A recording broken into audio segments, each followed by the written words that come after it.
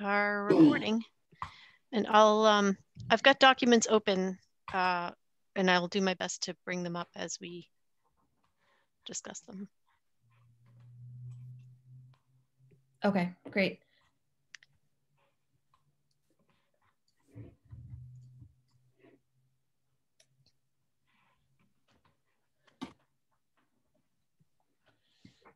So these are from our meet from our short shorter meeting last week. So we should be able to get through this pretty quickly. Sorry, I'm going to let's see. Do you see the minutes now? Or are you still on the agenda? I still see the agenda. Okay, hold on. I'm gonna stop sharing. My computer is starting to do a really weird freaky thing too.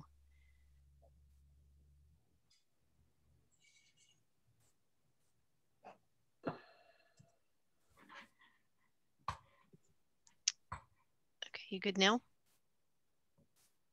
Yes.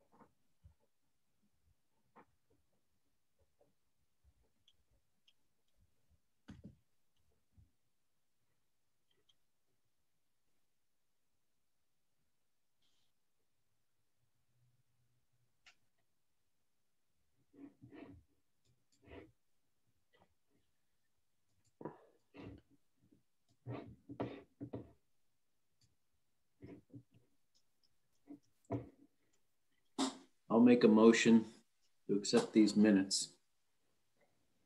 Ms. Sangata second it.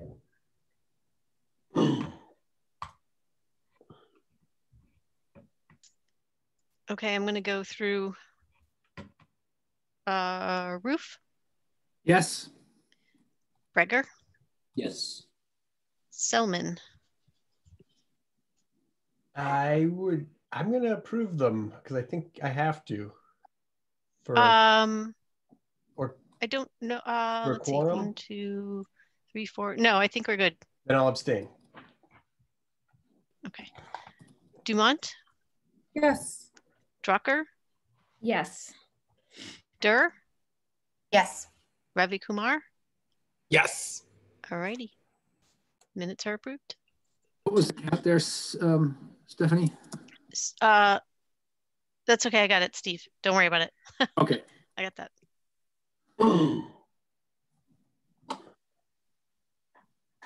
Okay, great. So I know there's some members of the public here. Um, I think to speak specifically to agenda item number five, but if anybody wants to make a more general public comment.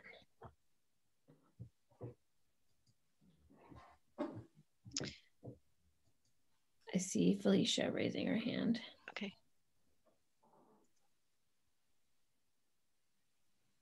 I, I'm just wondering, like, I, do we, ha- if we want to make a comment, do we have to talk about it now? Um, and then just listen when it comes up, or do we, can we wait until that time and answer questions or talk about it? I'm unclear. I'm, I'm comfortable with you all uh, talking openly about it when we get to that agenda item if nobody else has any issues with that. I think when we get to that agenda item, I can just let them in to the discussion so that you can see them as well. Yeah, that'd be great. So yeah, Felicia, if you have anything uh, unrelated to the electrification that you'd like to raise, feel free now. Otherwise, we'll um, bring you, we'll uh, have that discussion and more open discussion in a bit. I just want to thank you for all your work. Thank you. Great committee.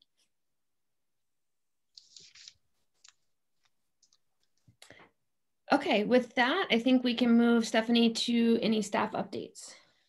Sure, just really quick, I wanted to let you all know that um, the Ethics Commission has sent out their annual training uh, where you have to watch the videos and go through the the sort of questionnaire quiz, and then sign a certification that you um, participated in the training. So I will be forwarding that to you all tomorrow. Um, but you'll have, I think there's there's a cover letter message that will tell you when the um, submission is due. So, but you all need to do that as committee members of the town. So.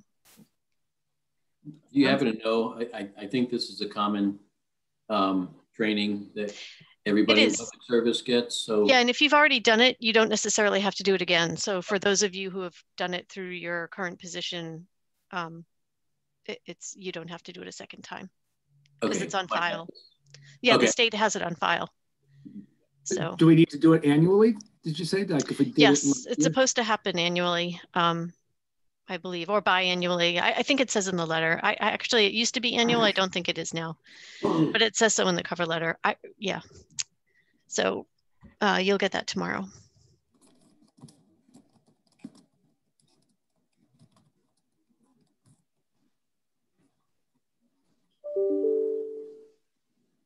Okay, great. Anything else, Stephanie? Uh, no, that's it for today. Okay, great. Um, so we'll move on to ECAC member updates. I have one update to share, which is related to the packet item titled 2021-0104 CRC request to town committees. It's a pretty dense document, so my suggestion would be that um, I just mention it today and we put it on as a more official agenda item for a future meeting. Um, but the gist of it is, is that the CRC is looking for comments on their draft comprehensive housing policy.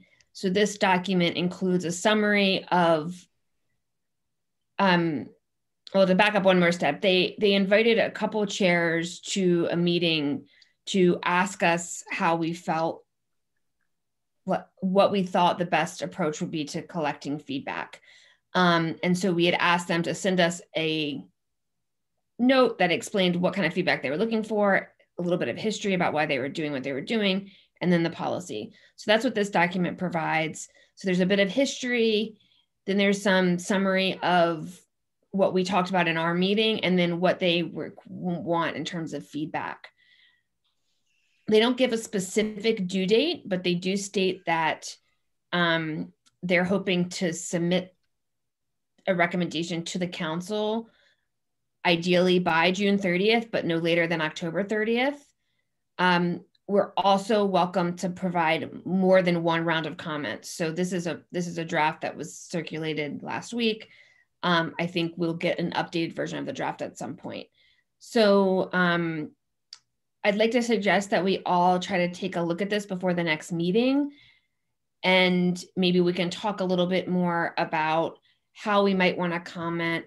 Um, and if there's anybody that looks at this and feels particularly passionate about it and wants to sort of lead up the commenting from ECAC's perspective, um, that's something we could discuss next time as well. Happy to have somebody sort of take the lead in collating the comment or making comments that we can all review and or and collating those. So um, I think that's all for today, but I'll add that to a future agenda. Unless there's any comment questions. Yeah, Darcy. Oh, I think you're muted. I was trying to call Andrew, so I muted myself. Um, but um, I will send everybody a clarification that Mandy Jo Hanneke, who's the chair, sent out yesterday to a member of the public who was commenting on it, and she went into very a very lengthy description of what the process is going to be next over the next six months. So I can pass that on to everybody. Um, plus, just to repeat my comment from the last time, um, there is actually no reason why we're not also commenting on the zoning and planning. It, kind of parallel to the, they, they're doing both the housing plan and the zoning and planning pieces simultaneously. So seems like they should be getting input from the same groups on those two things. But anyway, I said that before. Okay, we can, I mean, we could certainly ask if, about that. Yeah. Um, and I, I just have one brief member update. And that is that in the packet was the information about the biomass resolution that the League of Women Voters wants to put forward and they'd like to bring it to ECAC first to get an endorsement. Um, so they weren't prepared with an actual resolution for this meeting, but there were some, I think there were some things in the packet, right, about it? I I'm trying to, I think I sent it out to everyone as a follow-up item. Yeah. and- So, So that there, the, I, I didn't know what to tell them as to whether, where, when we would be able to get it on our agenda, but I suggest, I just told them we're, we're having another meeting in two weeks. And that's a possibility, or they could, they can send us their resolution when it's done. They weren't clear that they needed to write the resolution themselves.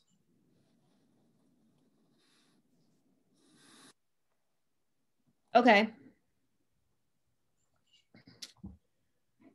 Yeah, I mean, we can, if they want to submit, submit a resolution, we can put it on the agenda for, for next time. Right, if we think that is the case, I can just let them know that.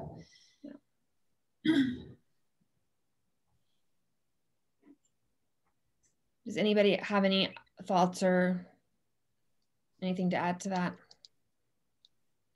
Just when the time comes, I would have a fair amount to say about biomass um, and, and sort of the history of it, as well as, um, I mean, just reading through the resolution, I, think there's some merit there, but there's also some, there's a lot of um, mischaracterization and, and lack of clarity and specificity that's needed when you talk about wood energy, um, which I would um, bring forward when we discuss it.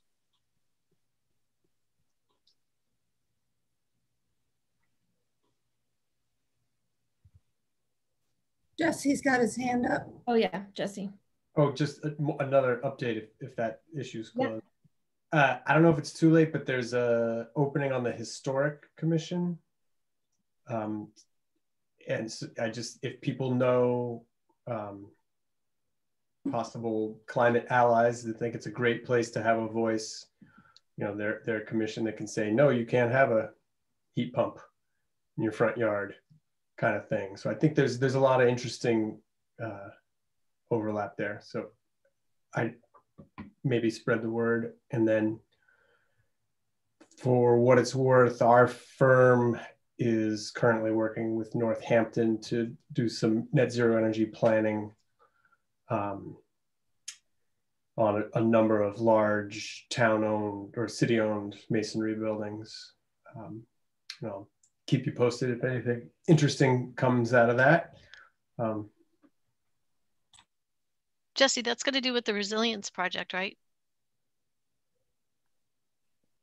uh, The resilience hub in Northampton. I'm not sure. It's a good question. I think Just- it's, I, I'm pretty sure it is, but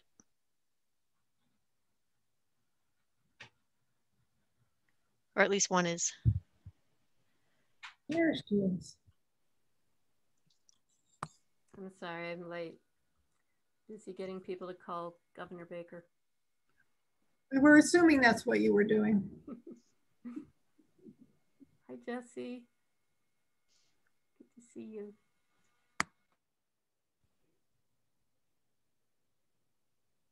Thanks, Jesse. Um, just to to close out the biomass discussion, um, Darcy, I think if um, we do next, I, I think um, it'd be helpful to understand the timing of when the resolution needs to be done by to influence any decision making. Um, if it's a longer time frame, then maybe we we hold off for another week because next week Ian's coming to give us the update. Um, so just also flagging that. An update on that. The Oh, yeah. timing. The the timing on the biomass got extended. Um, so we have at least uh, a couple weeks. Okay. Um, so I think it'd be good if we could get the resolution in the packet next week to even have a, a quick discussion on it if we have time, but uh, uh, unless we need to discuss it next week, next time, sorry. Um, but just noting that, you know, if we feel like we're gonna need to have a longer discussion on it, we may need to stretch it out over two meetings. You've got, so, so far you've got the CRC discussion for next time or review for next time as well as biomass. You could maybe do biomass and put the CRC one off a meeting Yeah. or two. Yeah. So when we say the following meeting, just, I'm just trying to keep track of them too. Okay, So for the, so that would be the October meeting for the CRC. not discussion. October. I mean, I'm sorry, February. Sorry. Okay. Not ready for that yet. Um, I don't know why I yeah, got stuck in October. That October. sounds but- good. Yeah, CRC is not a huge rush, so we can we can push that back if the biomass is ready. But Okay, I'm just gonna put first February meeting. Okay, any other ECAC member updates?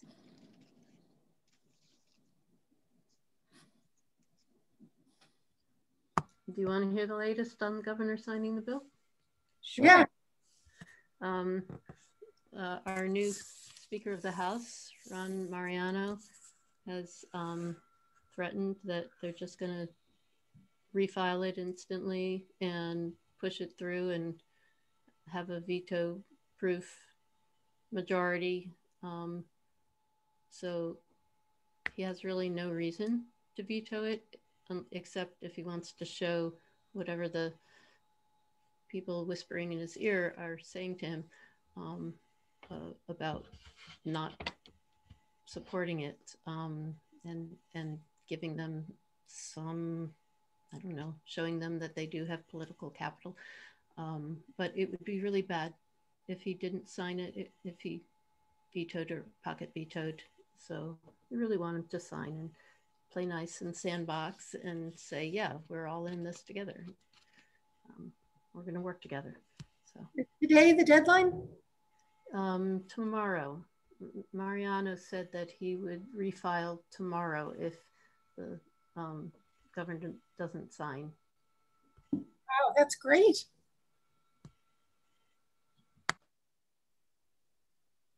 Great. Okay. Um, well, at some point we will add on the agenda to debrief on that bill once it's signed. Um, okay, so I think if we're all good, we can move on to the electrification resolution discussion. Okay, I'm gonna let um, Chris in as well.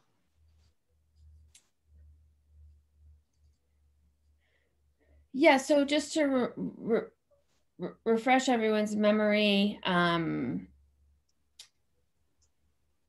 this was, we had a version of the resolution in our packet, I believe, in our last meeting of December. Um, we talked about it briefly, but we, uh, I think all agreed it'd be great to have Felicia and Chris here to explain it a bit more. Um, and so that's what we're doing today.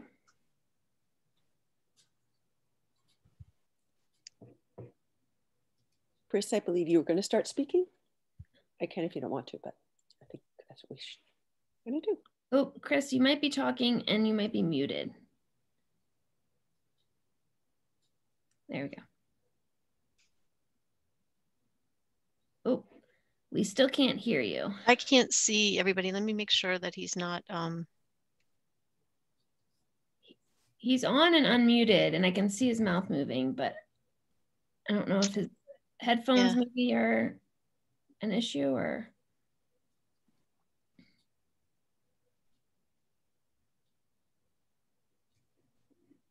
Try unplugging the headphones and then plugging them back in. Oh, I heard something. Oh, Chris, we can hear you if you don't have it plugged in. Yeah, It's erratic, but that's why I use the headphones. Okay, there we go. My question is, did you receive our cover letter that went with it? that explains- Yes. Do you want me to put that up too? Um, I, I don't know. What do you think, uh, Felicity? Uh, Felicia? Um, no, I, I don't. I don't think so. I think we can talk about it. Um, yeah. The cover letter was in their It had some packets. with highlight- It just had some highlights about what the resolution had. If we can maybe say three of the highlights and um, and that how we incorporated some of the changes that were talked about at the last meeting. Talked about at the last meeting. Okay, well, why don't you go ahead, Felicia? Okay. Um, so anyway, this um, this is a, um, a resolution that's um, being presented at many towns um, around the around Mass, in Massachusetts um, from who are part of the Building Electrification Acceleration Network, and basically we're looking at finding a way since it seems illegal to say, um, because of the building code, um, to stop gas from um, being, uh, to stop gas from being put into buildings. So we have to find some other ways around it. So this resolution is a way to find, to make, to have a home rule petition that individual towns can make choices about how they want to reach electrification and decarbonization. So one of the ways is to say, we can choose not to have gas come in um, into, into new buildings. Another way is to say we want to make sure that costs don't go up for low income people as we go around uh, about this, um, this initiative. And we want to have money made available, incentives made available to them so they can take part of electrification. Another one is that, um, oh, um, I'd have to look at it, but but but it's it's a way to um, yeah um, to find to find ways to to make buildings electric basically and new buildings. Um, and so that's the resolution. And I think what I, would have to do is look at my own. Take a look at my own really quickly. Um, Oh, it's asking also the BBRS to um, to come to better um, rules with state level actions and more rapid um, decarbonization.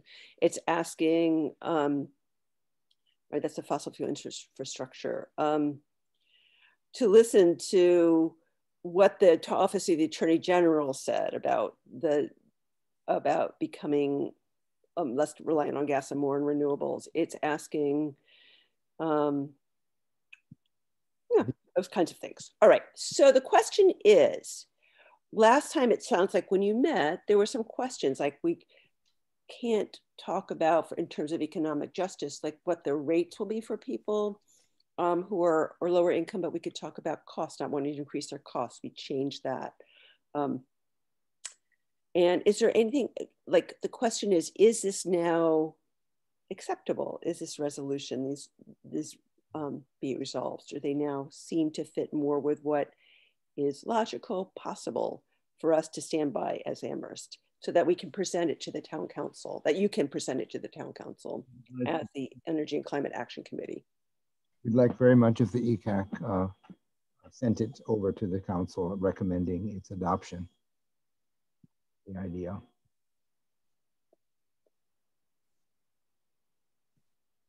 But let's see, uh, there was also, I believe, Jesse, I think, are you hearing me now, by the way? Yes. Yes. Um, you suggested a clause that we did put in here, which was about uh, to make sure that we that we committed to not overriding uh, the building code, uh, building code's basic um, statutory functions. So we've got a, there's a clause in there. Let's see, which one is it? Might be further down. this is the bottom. Um, maybe further up. I saw it. Looks great. Okay.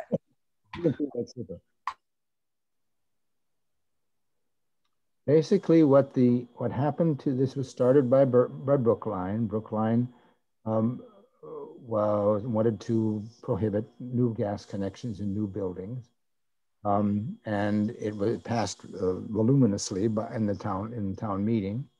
Um, and when it went to the attorney general, she wrote back saying, "We'd love it. We'd love to be able to do this, but it, it overrides the preemption of the building code over uh, the towns and cities may not have their own building codes.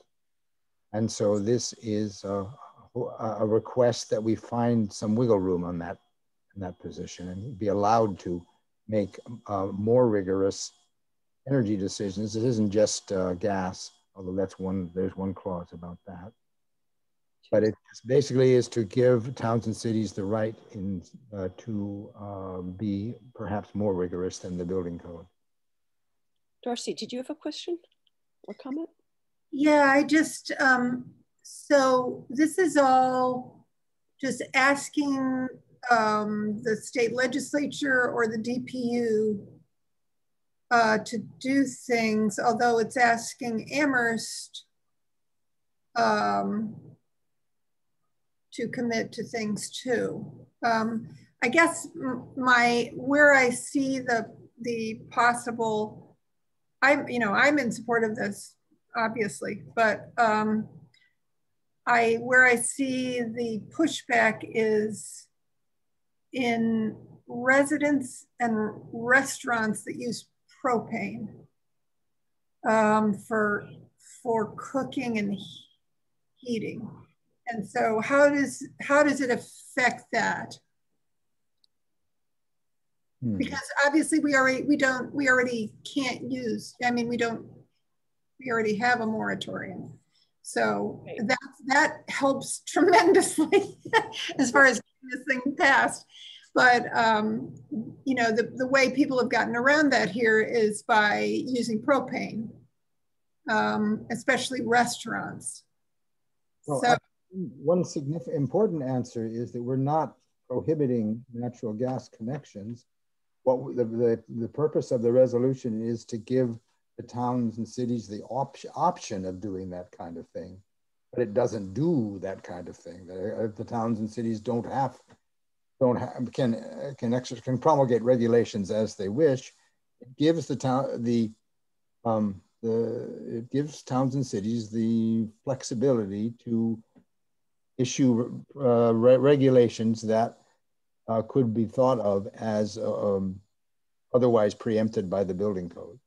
But it, it isn't specific about those things, I don't believe. I think it just um, allowing the, uh, giving, giving the towns and cities that wiggle room.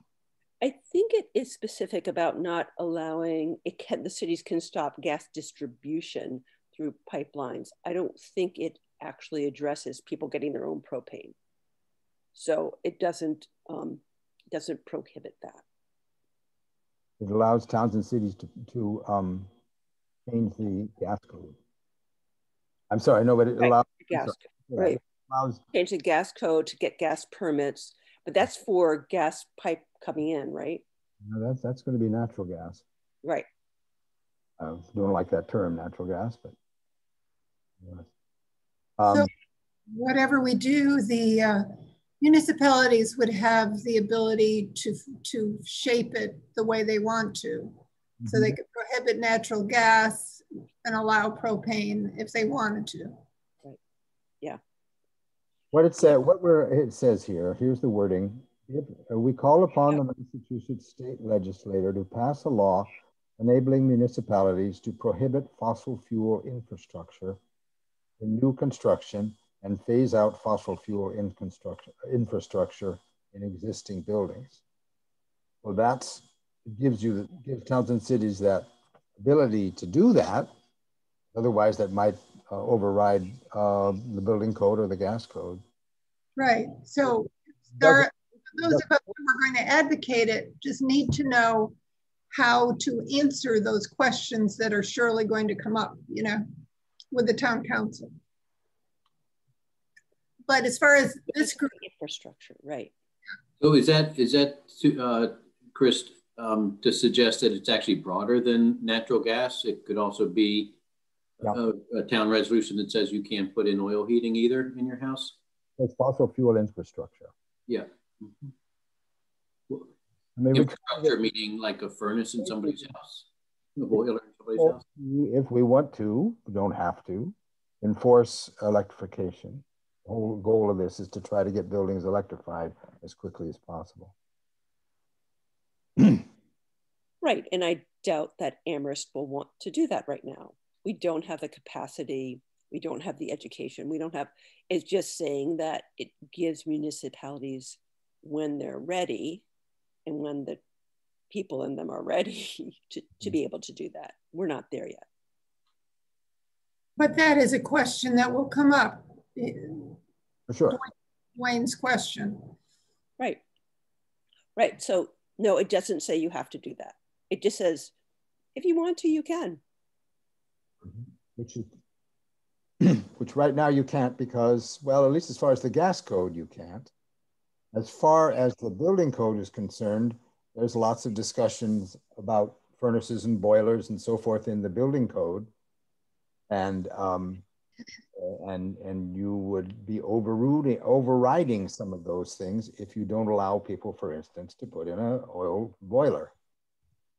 Um, which, something which was otherwise be permitted by the building code.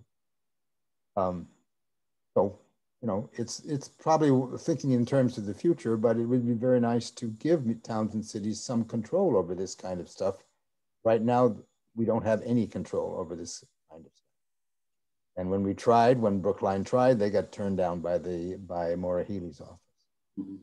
And could the could towns do something like um, say that oil residential oil burners need to be phased out within 10 years? Yes, that would be something. Well, I think there are a few pieces. One piece is at it to not raise costs for people who um, are, um, you know, like an economic justice issue, who might not be able to afford it. So that could contradict that. So until prices came way down and there were other options, that that might not be able to fly. You know, so that there has to be thoughtfulness about how it's done and when it's done. Yeah, that that um sort of brings me to my question, which is I think it, I think this makes sense. I think it, it would require some some explanation. So I think we would need to think about how we um, explain this to the city to the to the council.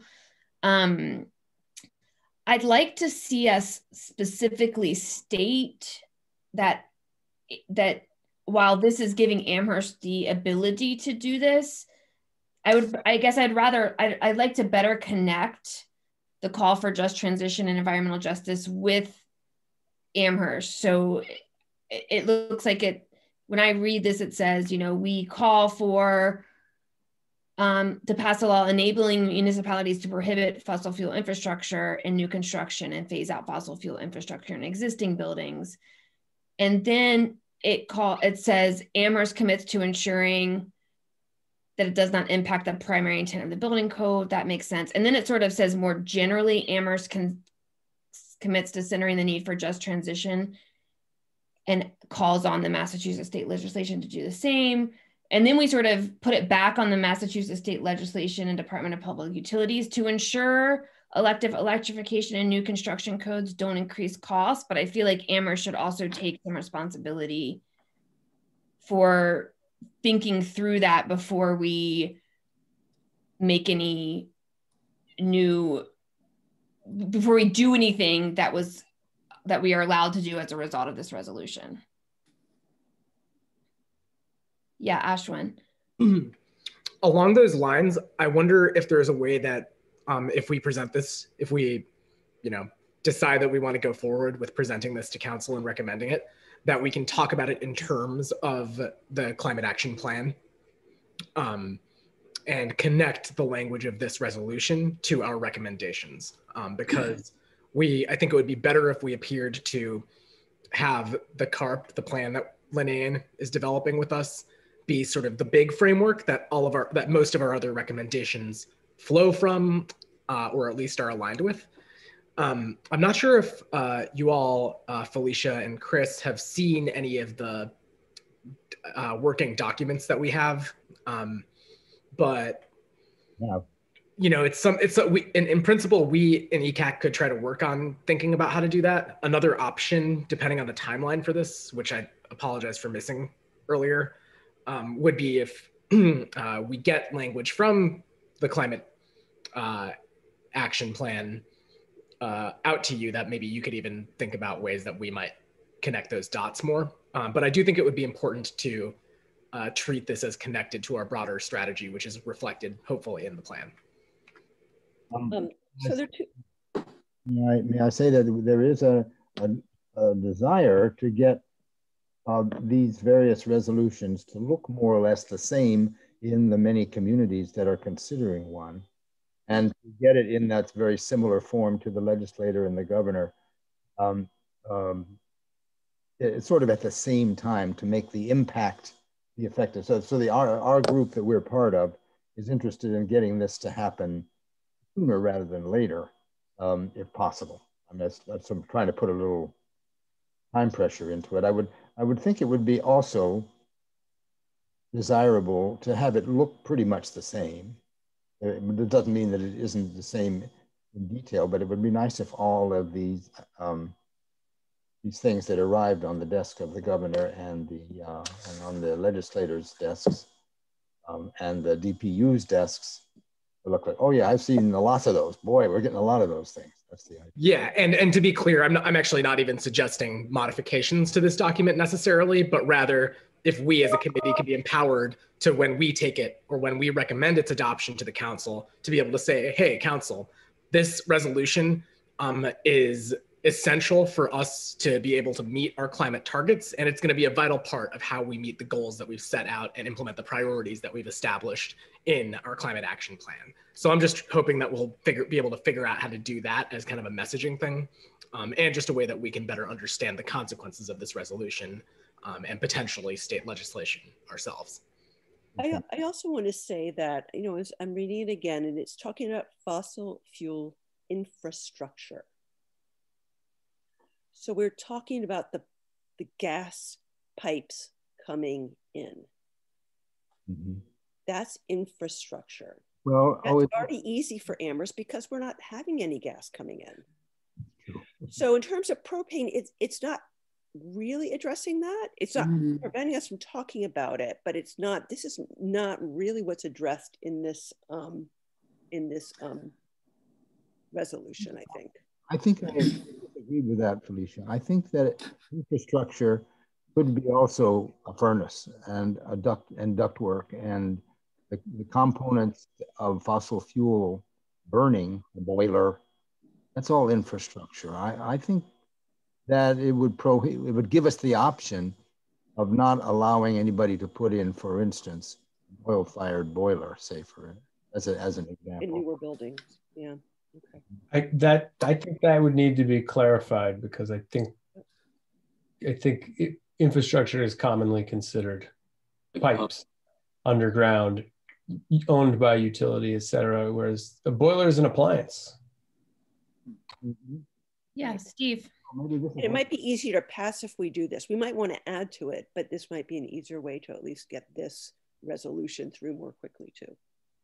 If it was limited to public infrastructure, you're saying like, like pipelines? Yep.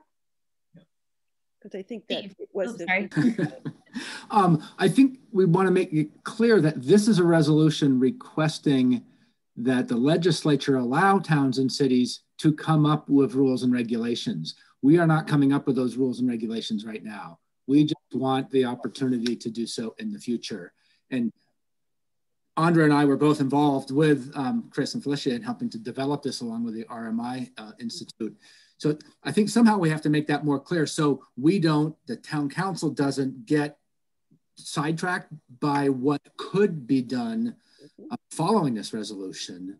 That all discussions that would happen in the future. We just want that ability to, we're asking for that ability to towns and cities to have that uh, opportunity to make res, um, make future regulations. We're not yeah, looking for specific now. Yeah, thanks, Steve. Uh, Dwayne and then Andra. Yeah, um, I was just going to one three things. Maybe one, one is to um, agree with Steve that it's really important to to to uh, make this clear that we're not asking the town to pass, to to, uh, to necessarily take this action, but but this resolution allows them to possibly take that action sometime in the future. The, the one thing I'd be careful with is that if it is, if it is limited to essentially a moratorium on any additional gas infrastructure, um, unless there's some some other language in here that's more general about fossil fuels, but uh, um, which there's there may be there may be a tendency to to um, uh, maybe it's not so important in Amherst because we don't have new gas anyhow, but for people to install oil instead of gas, which is uh, sort of going in the opposite direction. Uh, so I'd be cautious about that. Um, I think the other thing that we'll have to, I think if I was the council person or the town manager sort of considering this. I'd even even with with um, uh, even though it's a non-binding um, uh, resolution that just enables the town to do this if, if they if they want.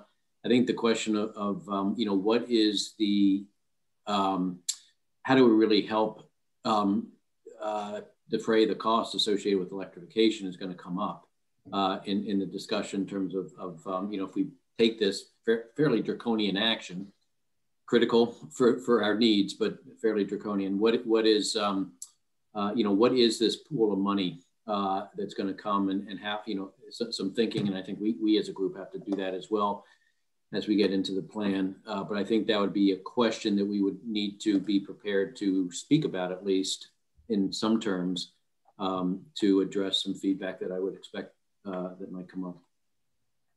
I'm not sure if, if um, Brookline or, or, or others have, have um, addressed that. Although simply by saying, I mean, we don't want to, we can't solve every problem with this, every future problem.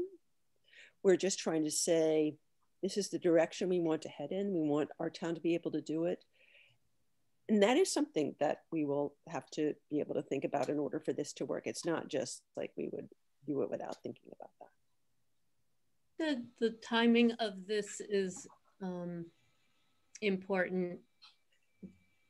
This is a strategy by uh, 17 municipalities to collectively and, and per perhaps go beyond the um, building electrification accelerator towns um, to to show that municipalities want choice in build in, in building codes.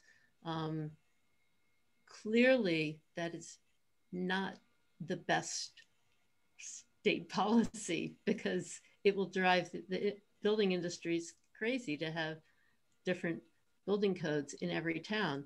So what it does is is highlights the need for you know, say it says municipalities want to be able to meet ambitious electrification goals. So the state really needs to move. Yeah, that's the subtext here is that the BBRS, the Bureau of Building Regulations and Standards, is uh, produced a code which is very anemic as far as the, the uh, as far as climate change is concerned. Um, it's uh, it does it in the stretch code. The building code now the stretch code is now about the same as the building code, and the stretch code needs to become a net zero stretch code. That's another subtext that isn't, that isn't involved here, but uh, it would be really the fact that the BBRS has produced an anemic code means that you need the only other solution well, the solution would be to fix the building code. But if you don't do that, then you got to give uh, uh, the towns and cities the ability to um, beef it up. And that's what we're basically asking for. Yeah, Darcy. Uh, yeah, I hate to extend this conversation too long, but um, uh, I think that the the new bill, whether it's not vetoed, you know, whether it's signed by the governor or um, you know, it's um, overridden by the legislature, uh, has a provision that gives um, communities, individual communities, the option, right, to to create their own codes. No, it has to uh, it has go to- there. I think we should stay focused on this resolution and see what happens at the state level this week. If Yeah, yeah. So it, there, there. It's possible at our next meeting, we'll have a completely different conversation because of the passage of the state bill. I think not. Why do I think not? Because the, the, pa- the state bill has a stretch code provision to have a, a, a net zero stretch code. And that's very, very good. Um, but it, um, uh, it may or may not pass and it will be staged in. And it's local option. And it's a local option. All, all stretch, all, the stretch code has always been a local option, but most, most communities in the, in the Commonwealth have adopted it. But I think that it still is not, one thing it doesn't do, it, uh, I think it doesn't necessarily, it, it allows fossil fuel uh, infrastructure. You can, you can, you can comply with the building code and have a boiler with, which burns uh, natural gas. And we want all buildings to be electrified. We want to have that not to happen anymore. So I'm not sure, but I don't think that, I believe this, certainly the stretch code now does not prohibit um, uh, burning fossil fuels. And I suspect that what it would be done, what will happen to it is it'll make it be a net zero stretch code, which can still have fossil fuels. And then you balance it by having um, PV on the roof. So we don't want fossil fuels at all.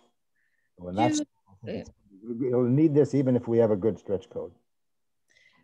So, so a question. I- I recognize the desire to have them all look similarly. Um, so I say this not. I guess I'm nervous that our town council is going to, to be overwhelmed by this when what we really are asking for is two pretty simple things is one pretty simple thing which is that the um the the second with be it further resolved or the first be it further resolved clause seems like to be the main piece that we're asking for.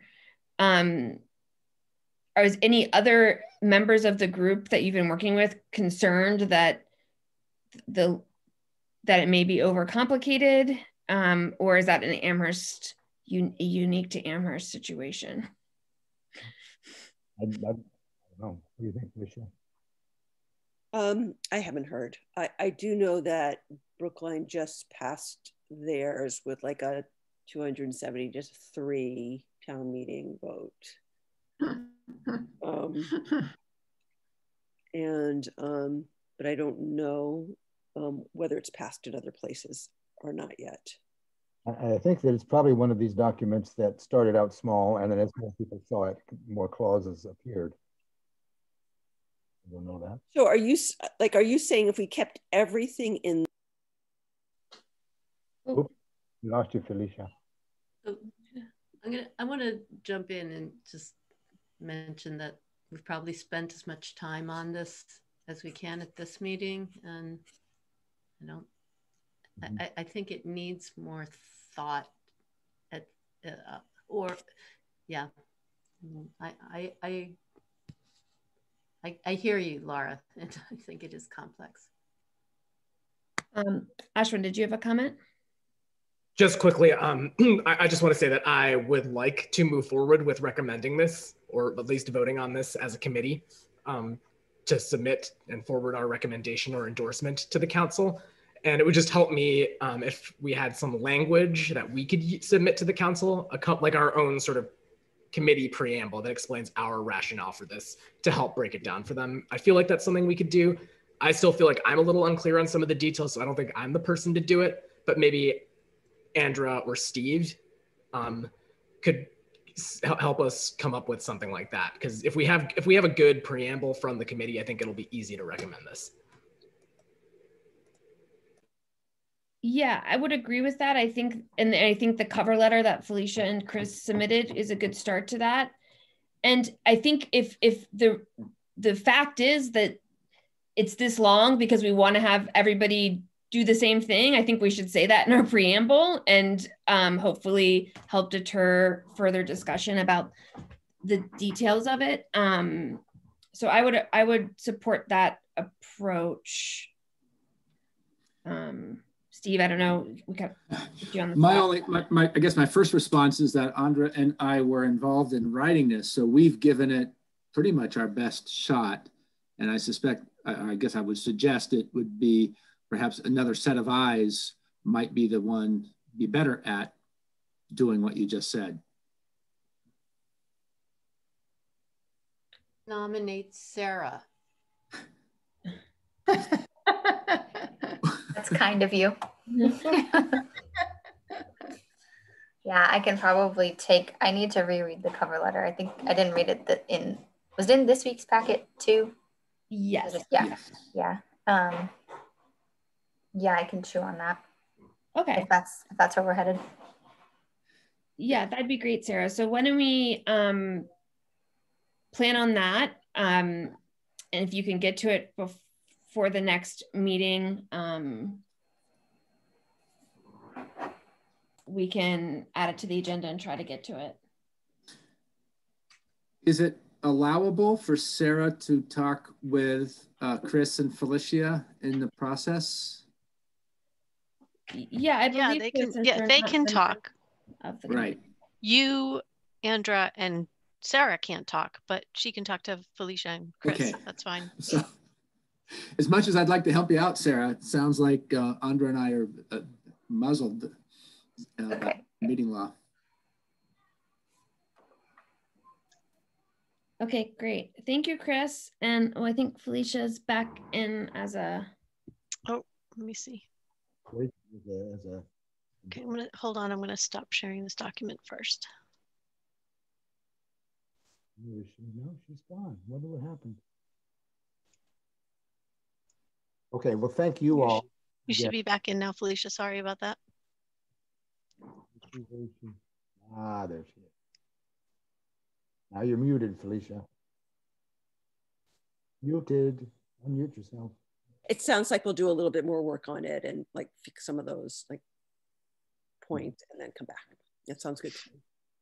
And well, we'll work with Sarah on that. Yeah. Mm -hmm. Good. Great. Thank you all very much. Thank you. Guess we'll say goodbye. Okay welcome to stay, but um all right. So next up on the agenda is the evaluator follow-up. So um let me think about the best way to do this. I didn't load it just because it's so large. Maybe if yeah. people can open it on their own. I have um a version version that Darcy worked on, um, and I know Darcy had put some comments in that I think you wanted to discuss as a group. Um, so I can open that version. Yeah, sorry, I, I, I didn't realize you wanted us to work on a different version. Well, everybody, it, it's not a Google sheet, and and it would be hard to make this into a Google sheet. Um, so everybody, yeah, does need to to do their their own version, and I will be responsible for compiling all of that when we get to that point. Um, so I was under the impression that today we were supposed to just kind of give it a trial run and report our initial thoughts about the process and the content, and that we wouldn't really be discussing the specific rankings yet. Exactly, Steve. Yeah. So um, Darcy had gone through and tested it out and had some comments that she wanted to share. Um, and she sent me those in writing. Um, but otherwise, I think it's an open discussion for anybody who um, has comments or questions or thoughts that they that they want to share um, at this point.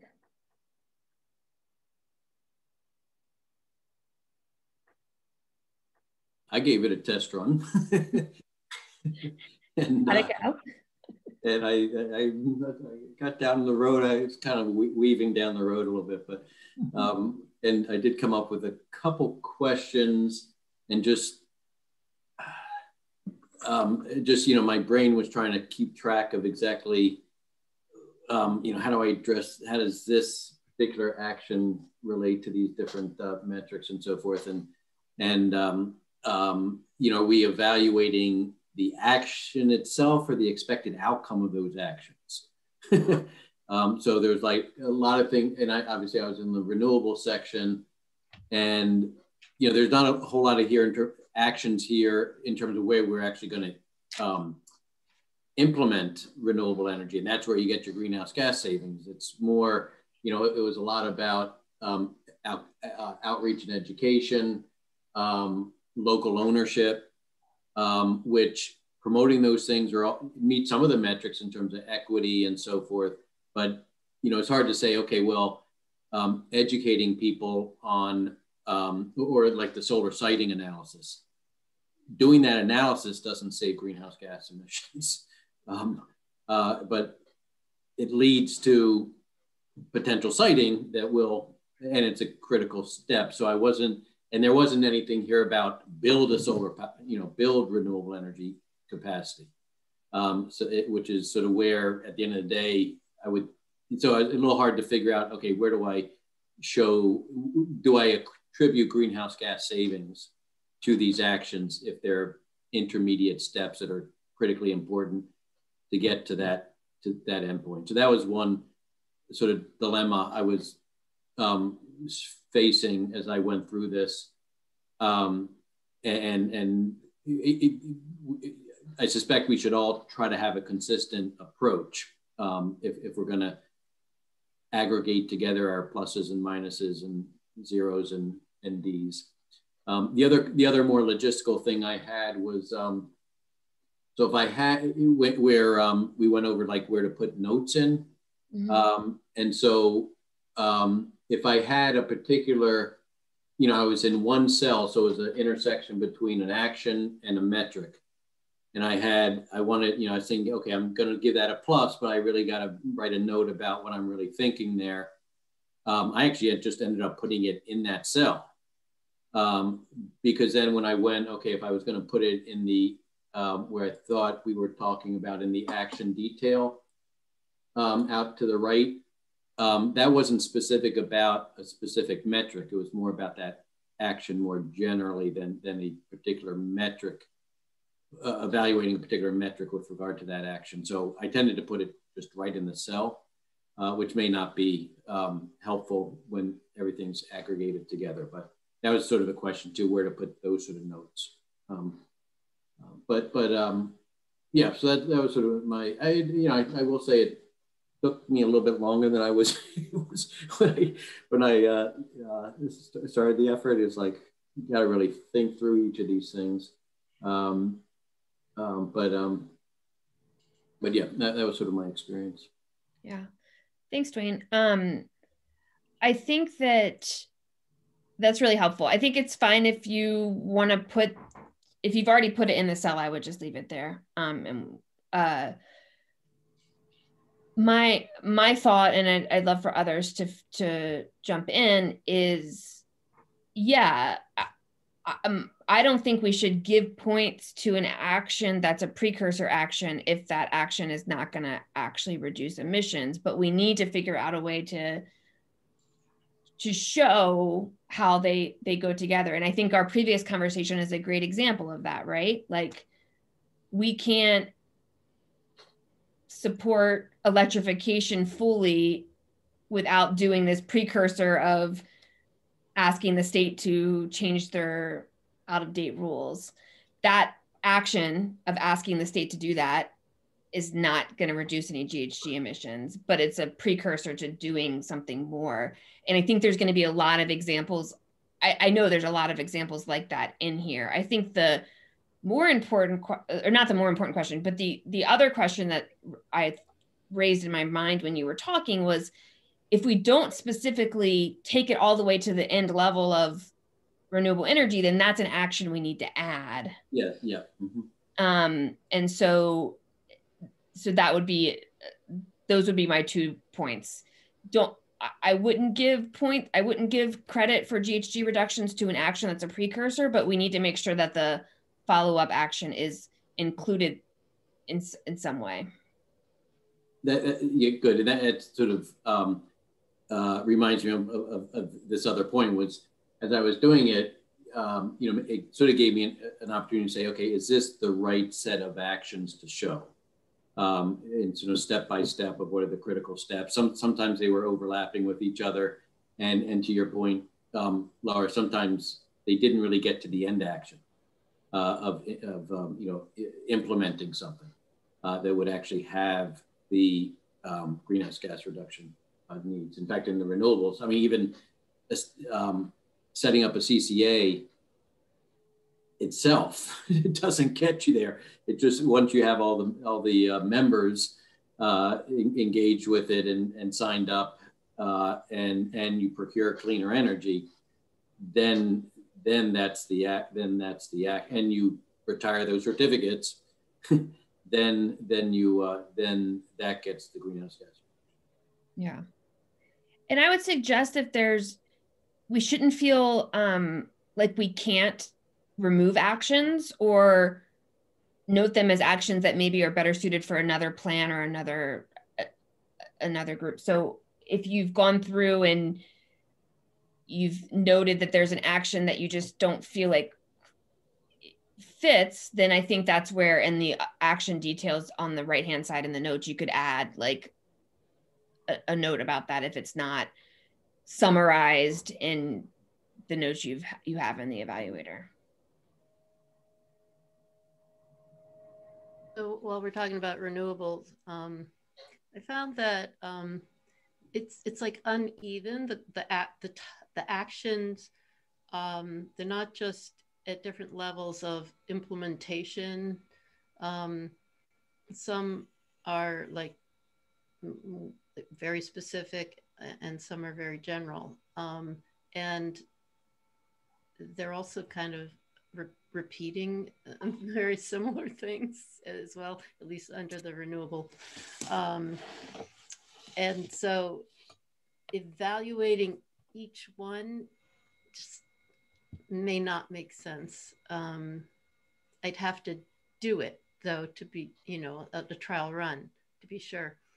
Um, and just in terms of using it, that it would be, uh, for me, a much more time efficient and probably cognitively more useful um, thing to do to go across rather than down. So rather than taking an action and going down through all of the permutations of the rubric, um, where I have to read the rubric each time because it's different for each, you know, criteria um, to go across, you know, say, okay, this rubric, I, you know, can internalize it, and now I can go across all of the renewable ones.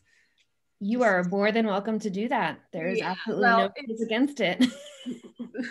you know, but you you had done it down. Yeah, the way I did it doesn't mean that's the way you have to have to do it. I think as long as we and if you're if you've gotten once you get started if if you feel like you know what this action is is not a right fit you can stop. put in d and all the rest of them and call it a day right i wouldn't spend too much much time yeah yeah but i i do i like the idea of it i just i do think that it it raises the question of whether the actions are comparable in in a way that it's useful to do this comparative evaluation.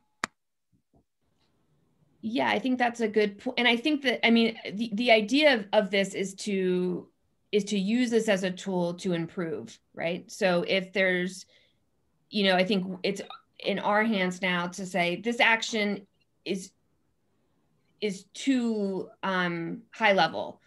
We we may but we need something like this action how do we change the action to be at the level that it needs to be at yeah steve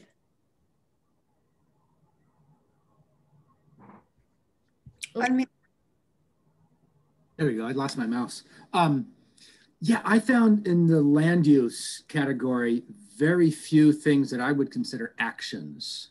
I saw things that I would consider goals. And so these are things, you know, more open space, um, better food supply. Those things were goals, perhaps strategies, but not actions. I, I see actions as a series of steps that you can take. So I had trouble with many of them of evaluating them um, because they were goals. And yet, sure, yeah, the goal, if if implemented, could lead to a particular uh, trait or a positive ranking for a particular evaluation. But it was kind of speculative because there were a lot of ifs leading from a goal to what the expected actual actions might be. So I think one, we might want to be more careful about distinguishing distinguishing between strategies, goals, and actions. Um, and I think we need to move more towards the specific actions and um, from those goals and have a small set of actions with specific plans in our climate action plan and not just a long, long list of goals with no steps toward achieving them.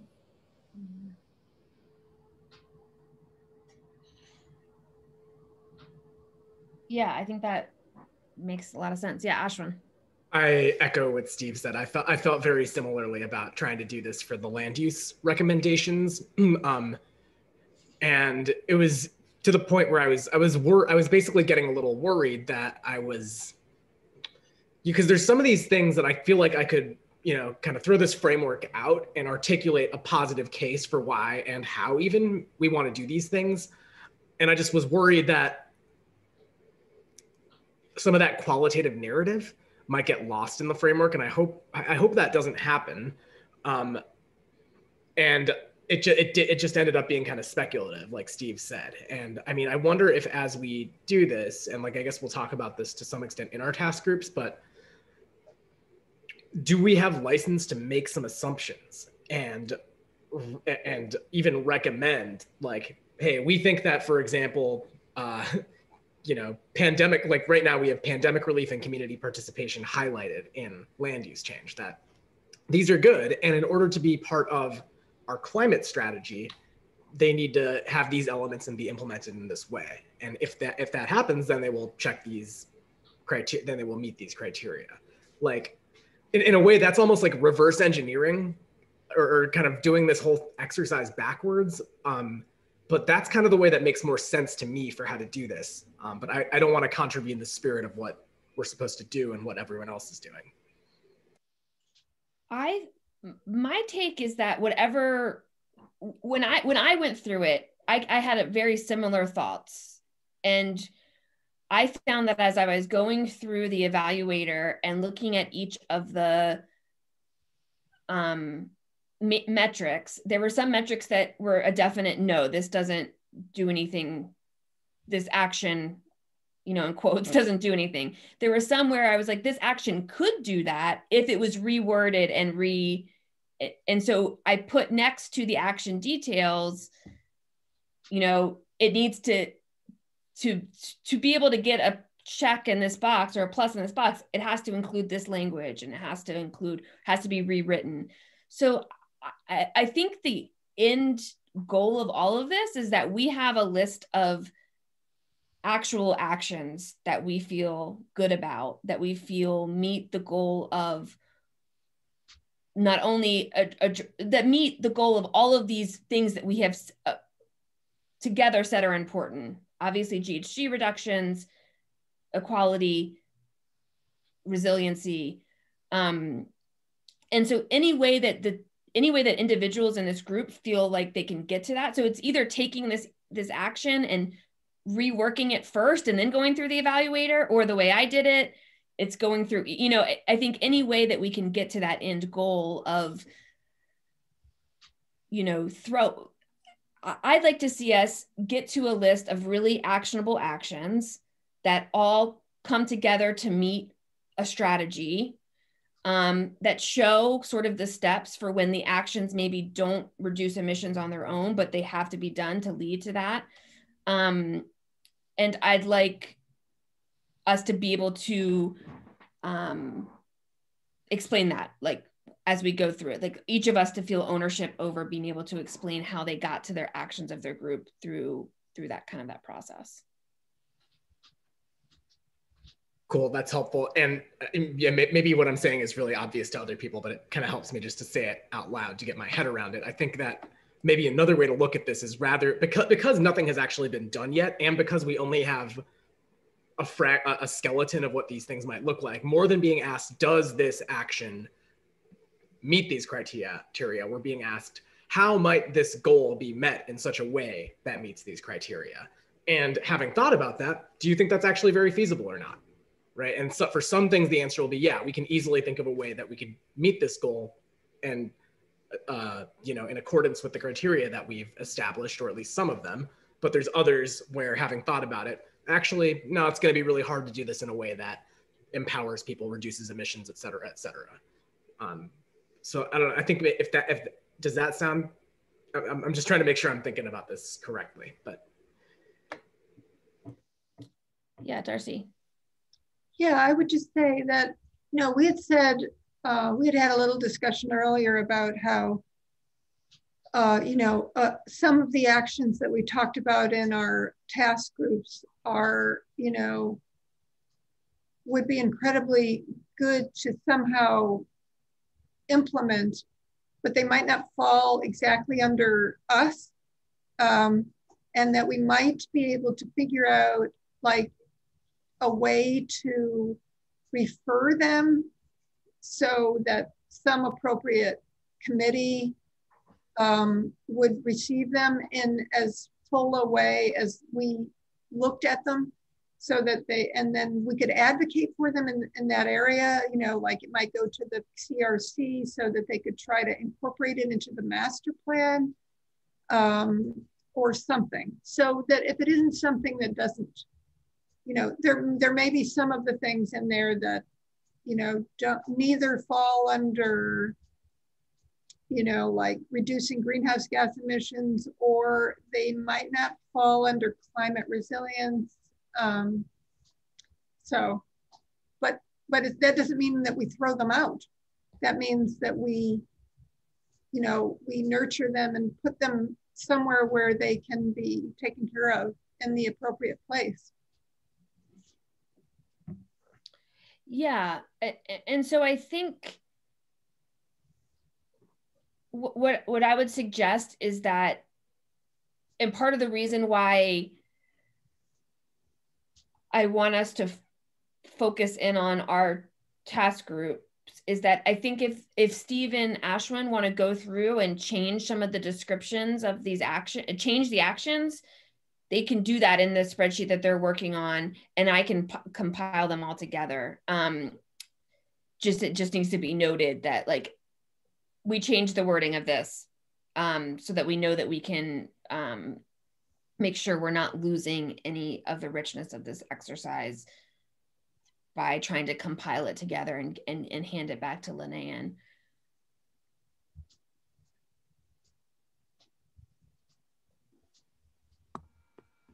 So uh, the notes, you know, when you hover over the action and you see the the note that gives more detail, um, you can add another note or a comment and say, you know, here's what I wish it said. And I'm answering, evaluating based on that. Um, I would put that. Um, we edit that note. I couldn't. That's a good question. I would actually just put it in the action details tab. It may automatically up. It may be worked set up to automatically update that note. Oh, okay. Yeah. Got it. Yeah. Yeah, Darcy you know, one thing when I went through this was um, just trying to grapple with um, the meaning of the rubric itself. And um, like, I think that in November, part of our timeline was that we were going through a process of trying to prioritize our actions. Um, and we ended up coming up with this list of actions. Um, and the climate action plans that I've seen do include, you know, a list of the co-benefits. So, you know, I had a little bit of confusion about like, what, how are we going to use this rubric? Are we using it right now to edit and prioritize, or are we planning on putting this rubric into the plan so that public can see, okay, so these are the co-benefits of these actions. Um, because I'm assuming that our plan will state the co-benefits. Um, or is there some prioritizing that's going on now? Um, and if so, how is how does it work? You know, like are we attributing points to these things or yeah. So anyway, I'm a little confused by it. yeah, so uh, I'll give my take and if others have other ideas, please jump in. I don't think we should be worrying about prioritizing right now. Um, I don't think that I think what this metric is really helping us do, and based on the conversations we've heard, I think it's doing that is figuring out if these are the, even the right actions and if they're written correctly and if they're leading to the end goal that we want to achieve.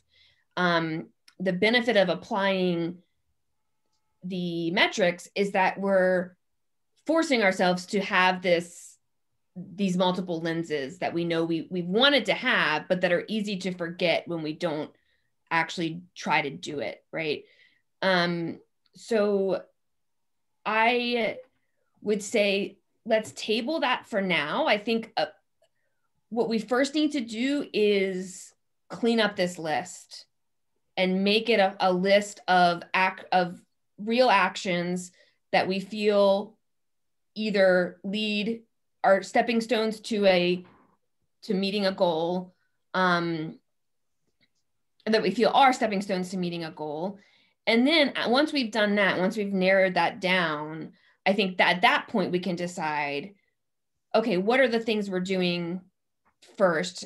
And what are the things and maybe we we need to do some sort of ranking to figure that out or maybe we don't. Maybe it just comes to us after doing this exercise right? So that would be my my take. Yeah jesse. I i just reiterate something i think either laura or ashwin said. I'm not sure was this part of this exercise is allowing us to really take ownership of each of these. And like and what i'm hearing is and i apologize because i've missed a lot we do whatever we take to the we, we do whatever we need to do to make to feel like we're behind these actions that we believe in them we love them we think they're going to work we think they're going to achieve our very clear goals. We just we do that. And i think that would be a very powerful exercise mm-hmm. And I do think, Dar- yeah, Dar- I'll go back to Darcy. I, I do think though that we would definitely want to put in the report that these have co-benefits. I mean, I, I think that that has always been the, the goal uh, of, of doing this analysis. And so we may find that we want to use this, some version of this in some way in the report. I, I just don't think we have that answer yet. Yeah, I, um, you know, I, I was sort of struggling with, um, you know, trying to figure out um, whether certain actions should be combined with each other because they were related to each other. And because it seemed like that combining them is the way to get more greenhouse gas reductions. Uh, but on the other hand, they did seem to be separate actions. You know, for example, um, you know, transitioning the municipal fleet to electric and um, also having a campaign to to encourage car owners to buy electric, which is some is is an action that actually isn't in there, but I was suggesting be added. So those are two related things. Um, and in waste, it was sort of like, you know, reducing residential food waste, reducing commercial food waste. Well, you know, just reducing food waste. You know, so, uh, you know, I, I think that they are separate, um, but then the, the, the resulting greenhouse gas reductions look like they're less, you know? So anyway, I, I you know, that, it, that is something that we should look at at least, you know, should we combine them? Should we not? You know, does it make sense to do them separately because they're, they are separate campaigns? Um, yeah, I think to um Steve's earlier point, like both of those sound like goals.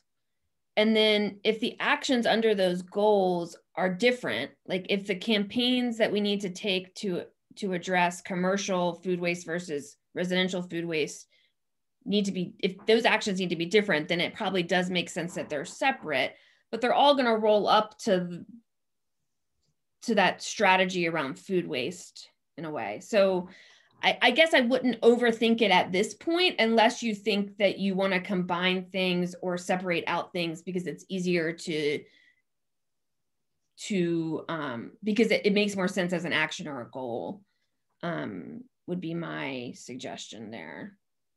Um, Sarah, did you have a comment? I did, but um, oh, so having equity sitting along the left side, I think has been throwing me a bit and I think it's maybe perhaps a bigger conversation of how far do we want to go to make sure that these are all a plus when it comes to equity? Because a lot of these things, I don't want to say are out of our control, but a lot of these th- things are tied to the systems and town governance in Amherst. Um, so this all like equity to me almost feels like we get all the uh, the actions and strategies outlined and then we add equity on each individual one and kind of see like how do we elevate that? Right now it feels like a lot of these I, are a minus and i don't like it being so black and white. To ashwin's point i feel like it's more how creative can we be right to get it to a plus for some of these?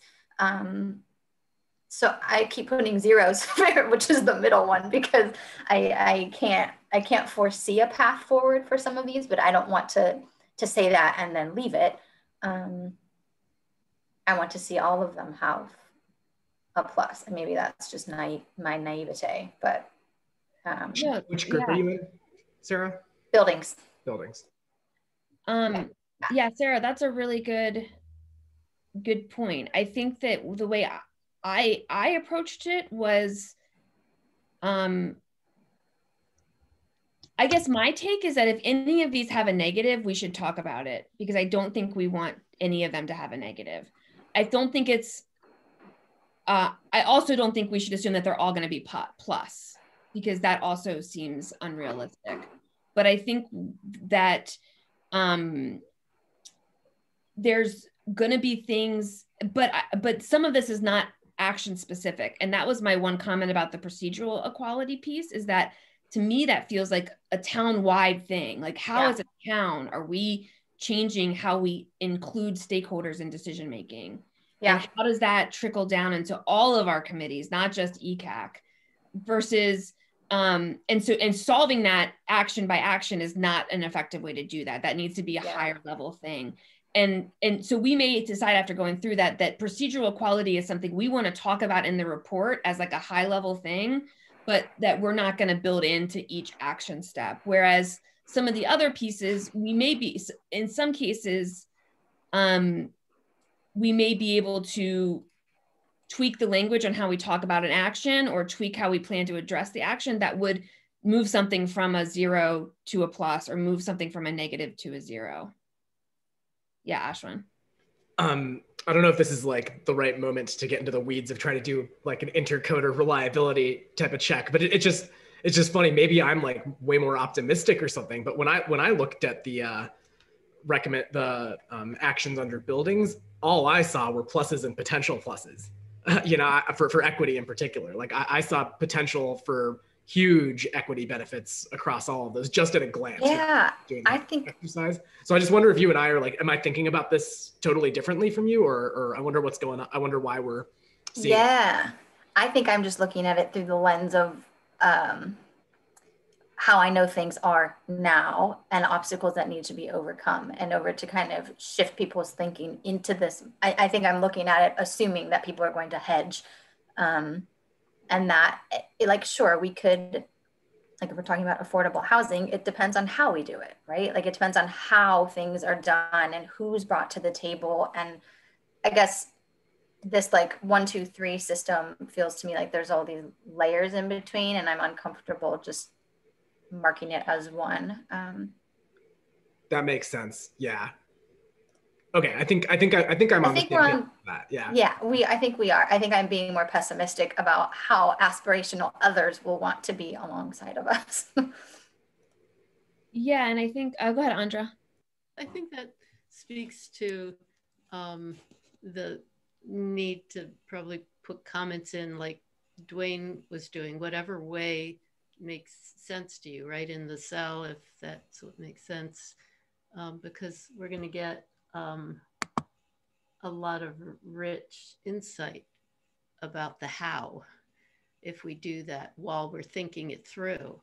Um, that might kind of, we might be able to pull out for as examples, you know, not obviously we're not going to have that much detail in the whole thing, but um, for me, I don't, I'd, I'd almost like to see you know your thoughts sarah when you're you know putting in uh, a zero but it it's really you know you're thinking all these things about what could be. In in i personally think it would be easier to see it in the cells themselves but i'm i'm willing to go to another tab.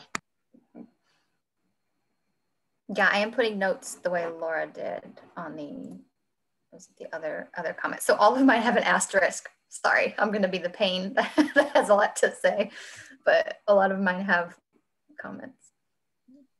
And yeah, I'll just reiterate that I don't think there's any perfect way to do it. I think the reason why I suggested doing it on a different worksheet is so that we could look we to Darcy's point, look at the evaluator in more of a comparative way um, and that's harder to do when there's lots of notes in the cells. But if that's the way that it makes it easiest for you to process this work, like please do it that way. Just don't put it in other people's cells because when I copy and paste it, it's going to get messed up. That's like my biggest.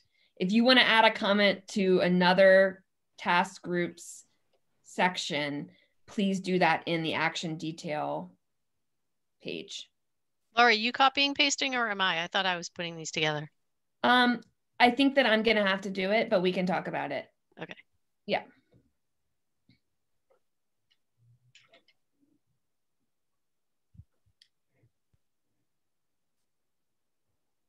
But but I think to to Sarah and Ashwin to your both of your points, and Sarah, that was a really good point. Like you can add that to the other comment tab if there's like some higher level things that we really want to make sure that we're pulling out of. As, as, as, you're, as you're going through it, you're thinking, man, we really need a section in the um, whole thing on this. Like, let's make sure we capture that somewhere so that we can have, have that discussion amongst ourselves and then together with um, Linnea.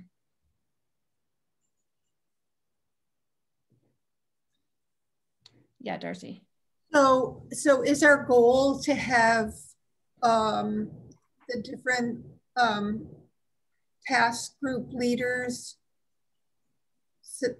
put all their comments in before the next meeting so that we can actually have a document where we have everybody's comments so that Laura is going to have the horrible task of copying and pasting all of our comments into a master document that we can share at the next meeting or before, hopefully before a little few days before.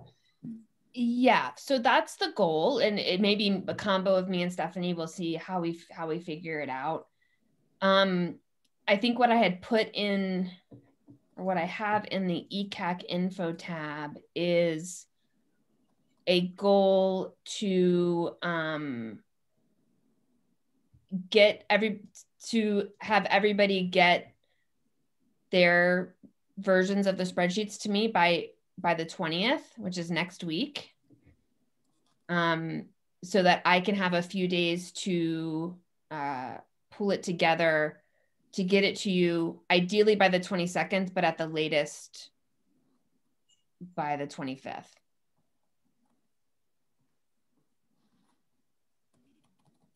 it'd be helpful if they came from a task group, but if you all are splitting it up, then that's fine too, just as long as it's clear who's doing what what pieces.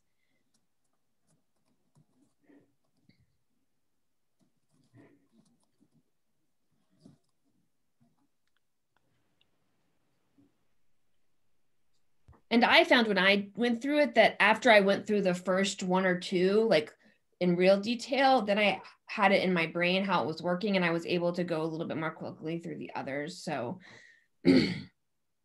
just flagging that as um, and and you don't need to I think again I think Jesse restated what I tried to say much more eloquently as usual like it's all about we need to we need to really be able to understand what these actions are that they're actually actions that are going towards our goal the goals that they all of these co-benefits and lenses have been applied. Um, and so I think, however, whichever way you use this document to get to that place, I think is the right way to use it. I just want to say too, Laura, that when you talked about this last time, and I think the idea was that even if you're doing the work individually and splitting it up, you as task group co-chairs need to have consensus on what you're putting forth. So it's not just your own individual perspectives.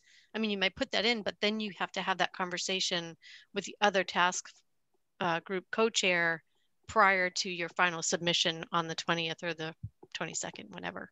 Yeah. Yeah. And if you haven't been able to have that conversation, then maybe just note it like to be determined, you know, to be discussed. I'm assuming that folks that are unsure and want to talk to their task group are probably gonna note it as an NB ND or something. But yeah, that's that's a really good point, Stephanie. Uh, Darcy. Yeah, there are, there are some categories that aren't covered by our task group, so we have to figure out how to do that. Um, one of the things that I, I had suggested was that the the green infrastructure pieces, if somehow or other they could be done by Linnean, that would be nice. Um, and um, you know, for the for the items, there's a section for us to suggest additions or I guess deletions. Um, and so that is an issue because we want to figure out the code, you know, like if we were adding something like creating new renewables, um, that would be a, that would be an action that we would need to, you know, come up with these co-benefits for. Um, or if we decided to, to reorganize it in some way. So anyway, I guess after the next meeting, we can discuss if somebody has a really strong desire to add something or reorganize, we could discuss it at the next meeting. Don't you think we should be just adding them if it's your task group's area and it's missing? I think we should just, you know, on another sheet or, you know, somehow we should do the evaluation for installing renewables and yeah, yeah. we could do it a couple ways you could just add i think that if you've gone through the evaluator and that's caused you to recognize that there needs to be more actions, you've sort of kind of evaluated them already. So I, you can put them in the action. So on the in on the bottom of the action details worksheet, there's a, a space for additional actions. So you could just add them there, and then we can decide at the next meeting whether we want to redo the the evaluator to be updated with all the, the actions that we've edited or added and whether we want to go through it again or whether or, or not. But I would I would caution us not to add columns to the evaluator spreadsheet just because that creates more possibility that I don't copy and paste it correctly. Yeah. I mean, it does seem like um, this is probably our last, before we go deeper and deeper and deeper, this is our, this is the time when we should, um, to the extent that, you know, we as task force co-chairs or whatever didn't quite, and we're now recognizing that we didn't quite get the list of tasks right. Um, you know, at, at there, some are both in terms of the language as well as you know the the the um, the set that we put forward it being sort of comprehensive and of similar um, level of, of uh, scale. And it, it, would seem like, um, I don't know, I'm, I, I'm sort of like, when I was doing this, I was like, I wish I could just like rename the tasks. uh, maybe it's because you know we didn't we did this like months and months ago, but it's like okay now that we're really getting into these actions and evaluating this based on all these this rubrics. Um, I, I sort of be inclined to spend a little bit of time, um, you know, recasting with Andra in my case, um, you know, the set of actions to um, to to better reflect, um, I think, what we want to evaluate. Um, if that if this is you know sort of I, I think really our best chance to do it now, better now than later, uh, in terms of getting it into the report in the fashion that we really want the public to see. Um, and I, I, and I didn't look at the other ones, but you know I was looking at the other ones just as we were speaking, and yeah, they're they're all so so much of them are, are like goals instead of action. I mean, Ashwin mentioned affordable housing. It's like, yeah, I mean, de- we definitely want affordable housing, but the action is how do we get you know, the action, what's the action to get to, you know, net zero affordable housing or, or something along those lines.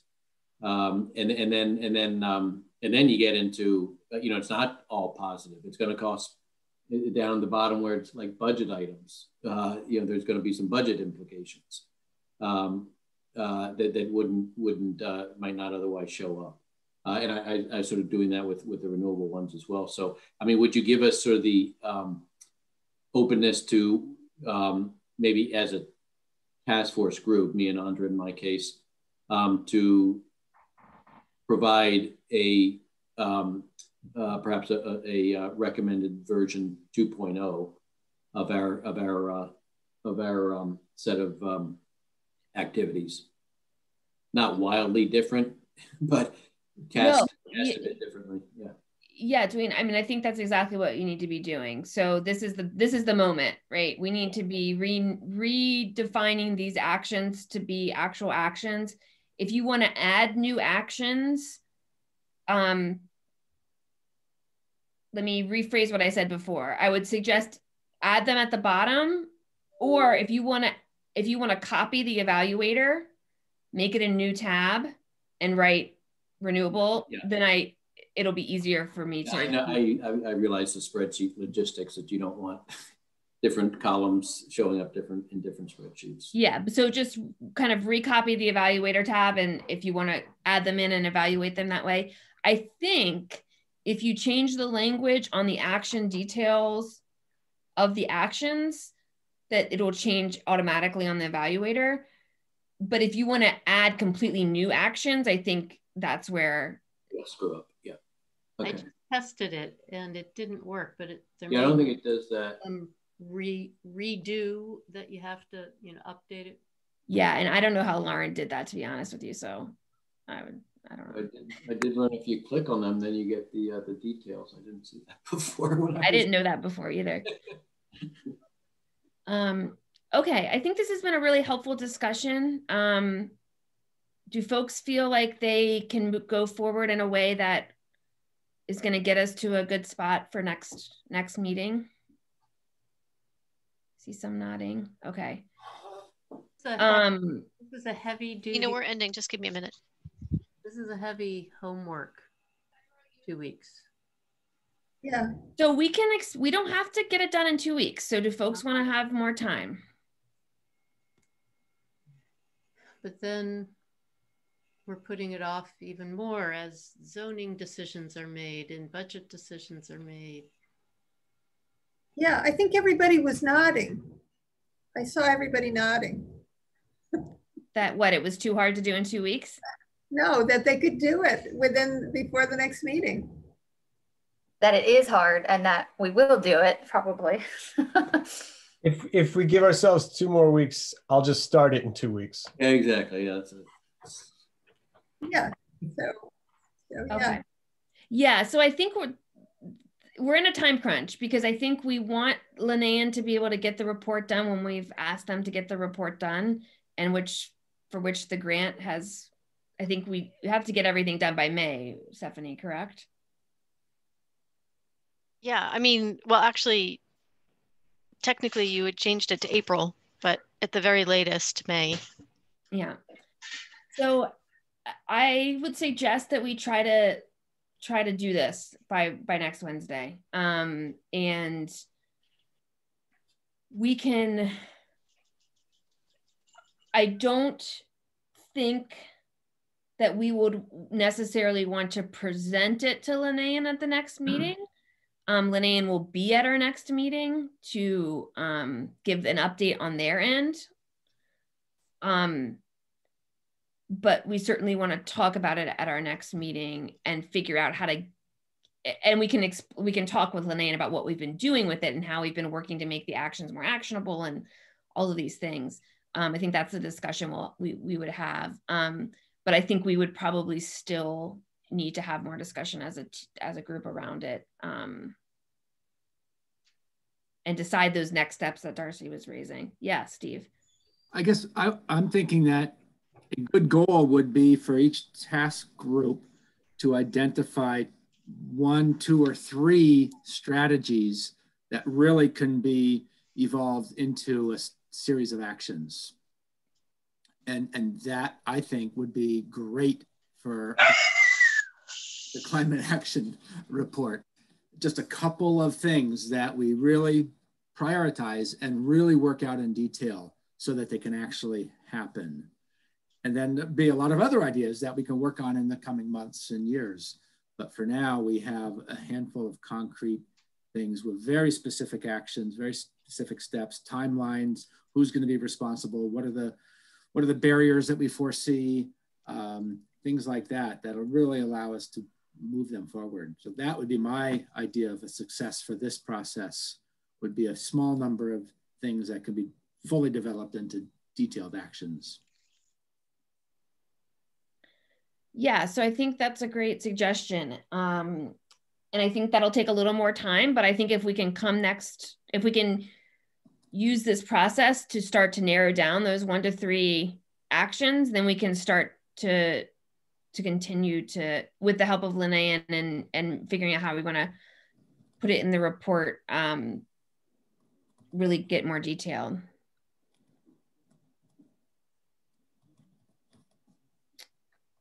Okay. Any other last comments about this? I don't I don't see any. Um okay, so we've got a lot of homework to do. But that's okay. Um do in terms of the next meeting agenda, we've sort of been talking about it as we've as we've gone. Linnean is going to come and give us an update on how they're doing on the report more generally. Um, they know we're work, of course, they know we're working on this, um, and so we can give them an update on what we've been doing. Um, from the timeline perspective, um, I did include just a rough timeline in the packet um, they're coming to us next week, next time on the 27th. We have one more meeting on the 10th. And then we're meant to get the first draft of, of it by the 19th. So we probably want to get back with to Linnean with um, the finalized list of actions pretty pretty soon. Um, in early early February if possible. um, we have a lot more things to discuss, I think, as a group related to how we're gonna um, review the plan, how we're going to present the plan to the community. What do we actually want from the community in terms of input on the plan? Um, so I think all of that will have to come at a future meeting, but I just want to flag that for folks um, that I've started to think about the things we need to think about, but that's about that's about that's about as far as I've gotten. Um, so in terms of next meeting, we'll have the Linnean update. Um, we have these other kind of things that we will need to resolve uh, or talk about and we'll figure out how to fit those in either at this meeting or the following meeting but that's the electrification um, the biomass and the CPC. Anything else? Yeah, Darcy. Do you think it makes sense for us, I, you know, the finance committee of the town council, when it comes to crunch time, they, they meet every week. And I'm wondering if there's a period of time where where we, we might want to do that as we get into our crunch time. Um, you know, whether, you know, just think about planning, is there a month or two months where we want to meet every week? Um, just because there's just that much to do, you know, like there's, I think that we just need to think about that. Yeah, definitely. Um, we will we certainly will need to think about how to um, how to get all this done. Yeah. if meeting all together is the right way or something, but yeah. Right. Yeah. It could be, you know, every other week with our task group or something like that. So just to be clear, if I was to um, email Andra to set up a time when we can um, discuss and resolve what set of actions we want. Are we able to are we able to do that with public meeting law? You can do that. You can do that because you're just reviewing and prioritizing actions. You're not making any, you're not coming up with anything new or you're just sort of, you're just tweaking a list that you've already created basically. Okay.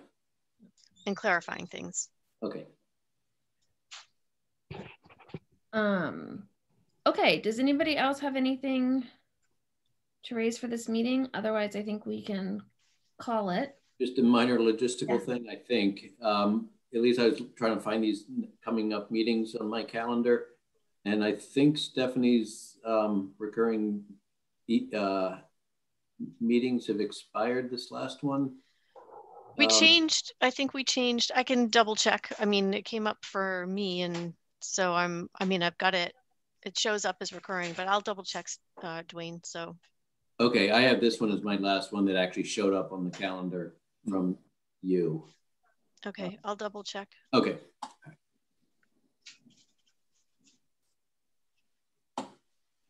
Um, the other thing I wanted to say is for your next meeting, you know, Linnean is coming to do their presentation, but they certainly don't have to stay for the whole meeting, obviously. So you could limit the time so that you have more time to continue with this effort. It might be good just to get some time and clarification with them, front load them at the beginning of the meeting and then have more time to follow up after. That's a good point, Stephanie. It'd be helpful maybe if you could ask them to, of course, submit anything for the packet in advance, but also if they could tell us how much time they think they need based on what they the updates they have. I think that would help us plan for the agenda. But they're coming because they were asked to. So yeah, I think they're just giving an update. update. So if you can ask them how long, how yeah, much no, that's what have. I mean. It's just to give you an update of where they are. So yeah, I don't I think they can, you know, you can also tell them we're going to give you a half hour in our meeting. You can do it that way too. Well, if you could just ask them. Yep. That would be great um, and we can talk about that more offline. Yeah. Okay. Any other questions or thoughts? Okay, great. Well, I look forward to getting your evaluators next week. Um, and we will talk again soon. Want to ask for any public comment at the last? Oh, there is no public left. So I think we're good. good. Thank you, Sita. Um, all right. Thanks, everybody. Thank you. Have a good night. Bye-bye. Bye.